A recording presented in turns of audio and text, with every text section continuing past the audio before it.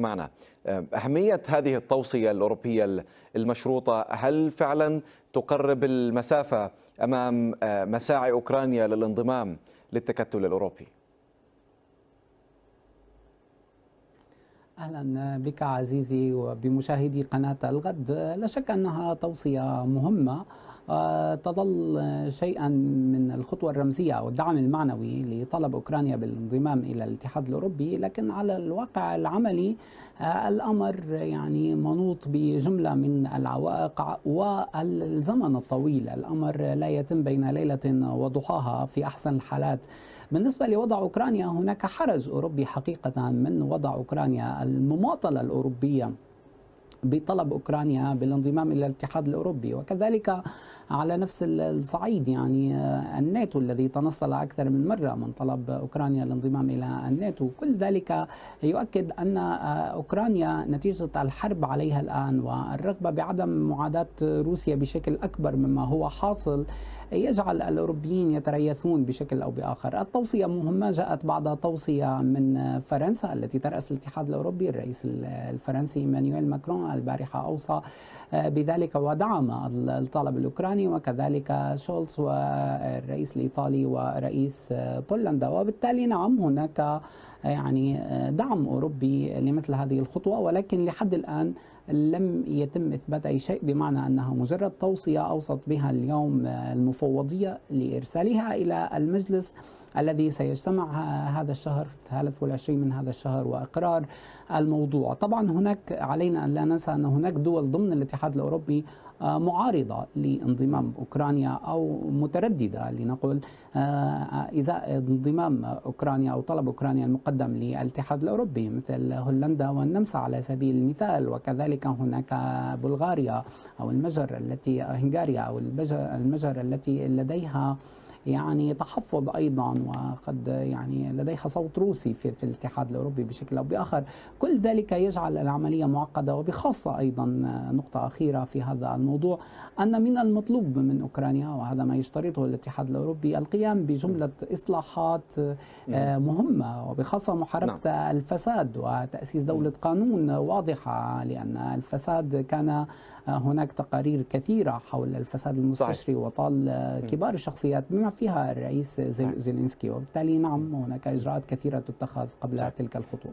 ناهيك عن القضايا المستم... المرتبطة بالمسار القضائي والمؤسسة القضائية في البلاد. سأسأل عن ذلك بعد قليل. لكن بالنسبة للمواقف الأوروبية أشرت للتباينات والخلافات. لكن حقيقة وجود أطراف أوروبية وازنة تقف خلف هذا المسعى الأوكراني وتمهد الطريق أمام هذا الانضمام للتكتل الأوروبي نتحدث عن فرنسا ألمانيا إيطاليا تابعنا الزيارات خلال الفترة الماضية وهذا الدور اللافت أيضا للمفوضية الأوروبية هل من شأنه الإسهام في تذليل العقبات وتجاوز هذه الخلافات أم ماذا؟ يعني لا شك هو مثل أي طلب آخر حتى يشابه يعني لو بسطنا الأمور طلب تقديم وظيفة هناك توصيات لا شك أنها تدعم هذا الملف. لا أعتقد أن هناك اعتراض على المدى الطويل لوجود أوكرانيا في الاتحاد الأوروبي من قبل معظم دول الاتحاد الأوروبي. في النهاية أوروبا هي تمثل ذلك الامتداد الديمقراطي الأوروبي نحو المعسكر الروسي القديم أو المعسكر السوفيتي القديم الذي تمثله روسيا العائدة بقوة إلى الساحة الدولية. وبالتالي من هنا يأتي ذلك الدعم الأوروبي الكبير لأوكرانيا في مقابل الاتحاد السوفيتي. معظم إذا لم نقل كل دول الاتحاد الأوروبي سواء بشكل طوعي أو مكرهه على ذلك أيدت أوكرانيا ودفاع أوكرانيا عن نفسها ازاء روسيا والحرب الروسية. وبالتالي هناك يعني رغبة بالتمدد الأوروبي وقضم ما كان سابقا ينتمي إلى الاتحاد السوفيتي وهذا ما أثار حفيظة روسيا. وأيضا يثير مخاوف بعض الدول الأخرى مثل الصين التي تجد مثلا أن هناك دعم تايوان من قبل أوروبا الديمقراطية. وبالتالي نعم هو صراع يعني بعيدا عن هذا الصراع الذي يبدو وكأنه فقط ينحصر في أوكرانيا وروسيا هو صراع ما بين الكتلة الغربية عموما الديمقراطية الغربية وتكتلات سياسية أخرى ذات طابع شمولي مثل روسيا والصين.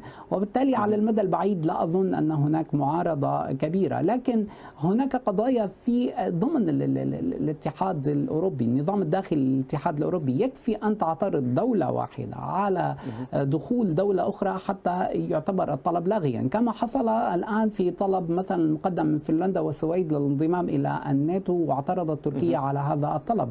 يكفي هنا أن يكون هناك دولة واحدة وتعترض.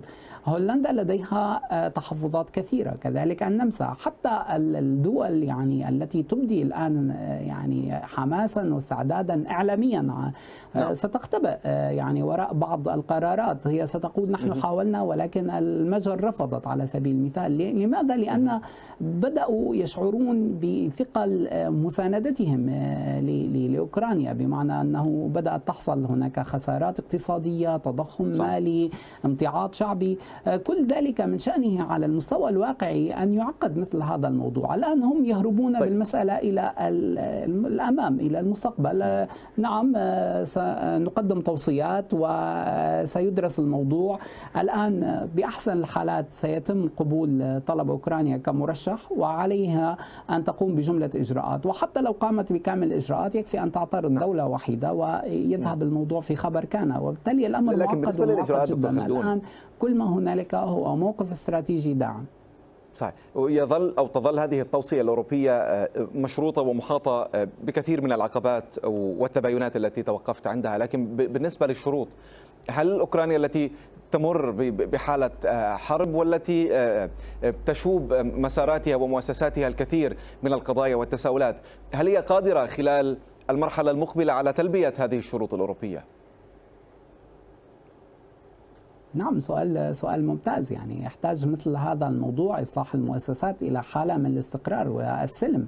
أوكرانيا الآن ليست في وارد أو القدرة على يعني التفكير بمثل هذه القضايا. هي الآن لديها يعني انفاق كبير على الجانب العسكري. هي تعتمد أصلا على المساعدات الغربية وبخاصة الأمريكية وجزء منها من الاتحاد الأوروبي.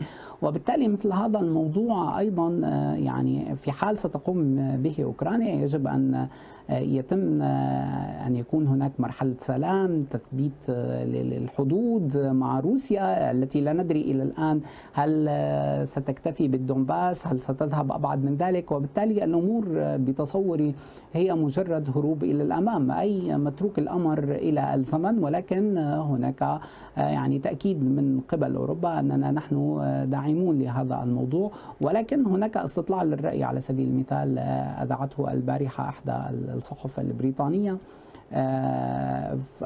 معظم سكان أوروبا بدأوا يميلون إلى التخلي عن أوكرانيا أو يميلون إلى السلم وحتى لو خسرت أوكرانيا الكثير من الحدود والمزايا وكل تلك الخسارة العسكرية والبشرية. وبالتالي نعم اذا الأمور فيها شيء من الهروب فيها شيء من المجامله الدبلوماسية في المستقبل. سنرى ماذا ستكون عليه الأمور وكيف ستكون ولكن مرة أخرى بأحسن الحالات سيكون هناك موافقة على أن تكون أوكرانيا مرشحة إلى الاتحاد الأوروبي. وكذلك نعم نعم. أوكرانيا اذا كبلد أساسي. وبالتالي هناك مجموعة من الطلبات المقدمة إلى الاتحاد الأوروبي بخاصة من دول البلطيق. ولكن مع ذلك الحرب مع روسيا والخشيه من تصعيد الأمر مع روسيا التي يبدو مصممة تماما على الذهاب بعيدا في حماية حدودها من التمدد الأوروبي ومن التمدد حلف الناتو. اذا الأمور يبدو أنها مجرد مجاملة دبلوماسية بشكل أو بآخر. حتى المساندة الفرنسية التي شاهدناها البارحة كانت شيئا من من رفع العتب. يعني نعم كنت أريد أن أقول أيضا هناك رغبة في ضم جورجيا كذلك. الرئيس الفرنسي على سبيل المثال الذي الذي توجه البارحة إلى إلى كييف كانت زيارته الأولى وهو يراس الاتحاد الأوروبي أي فرنسا نعم. تراس الاتحاد الأوروبي وهو لم يقم بذلك. كان فيها شيء من رفع العتب الذي طاله صح. كثيرا. يعني تم انتقاد فرنسا كثيرا في مواقفها وبخاصة أن ماكرون حتى البارحة في دعمه إلى أوكرانيا ورفع تصريحاته قال علينا أن نستمر بالحديث إلى إلى بوتين وموسكو وبالتالي الأمور وأن يبقي الطريق مفتوحا أوجه متعددة أمام الملف الشائك والتفاوضية معذرة وقت نقاشنا انتهى تماما. دكتور خلدون أشكرك جزيل الشكر من باريس. الدكتور خلدون النبواني أستاذ أو الأستاذ المحاضر في الفلسفة السياسية والقانونية في جامعة السوربون شكرا جزيلا لك.